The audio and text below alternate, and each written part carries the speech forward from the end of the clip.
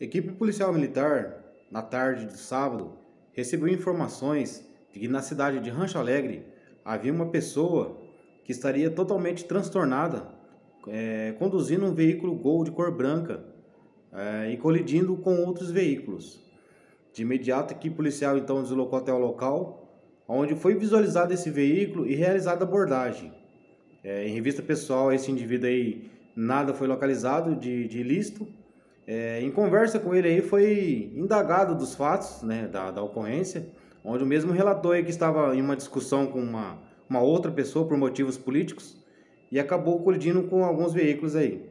É, que nesse momento aí, então, é, ele começou a se, se alterar, começou a questionar o serviço policial, começou com, com falas agressivas, é, começou a desacatar a equipe policial, começou a ameaçar a equipe policial que nesse momento então foi dado voz de prisão a ele por, por ameaça é, e convidado ele aí a entrar no compartimento de transporte destinado a preso. É, nesse momento então, a equipe policial verificou junto ao sistema CESP e verificou que o, o seu veículo possuía adeptos. É, o veículo então foi apreendido e recolhido ao pátio do destacamento de Rancho Alegre, onde vai ser feito é, todas as notificações pertinentes a infração de trânsito. É, a equipe policial, então, encaminhou esse abordado até o destacamento Rancho Alegre para a convecção do boletim de ocorrência. Aí, no local, esse indivíduo começou ainda a ameaçar a equipe policial, falando que quando sair da cadeia vai atrás de cada um. É, começou a fazer alguns gestos obscenos, começou a xingar a equipe policial e indagando o serviço policial. É, no local também compareceu as vítimas, né, que uma vítima relatou que foi numa farmácia realizar uma compra e esse indivíduo teria dado ré em seu veículo e batido no mesmo.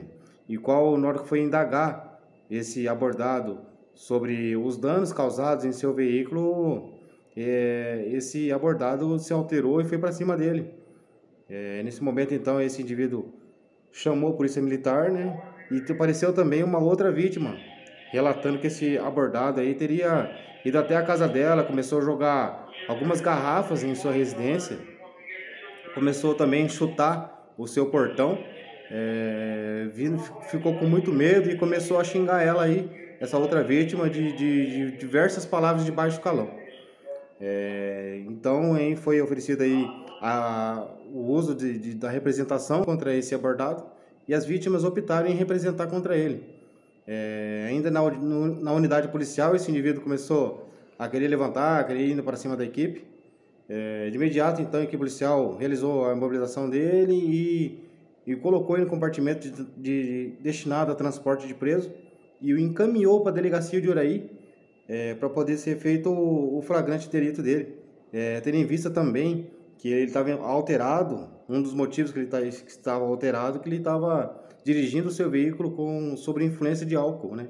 É, onde foi oferecido aí o teste de etilômetro para ele, o qual recusou, porém com diversas é, sintomas que ele apresentava, como olhos vermelhos, fala bem, bem agressiva, falando alto, é, não restando dúvida aí que o, que o mesmo estaria embriagado.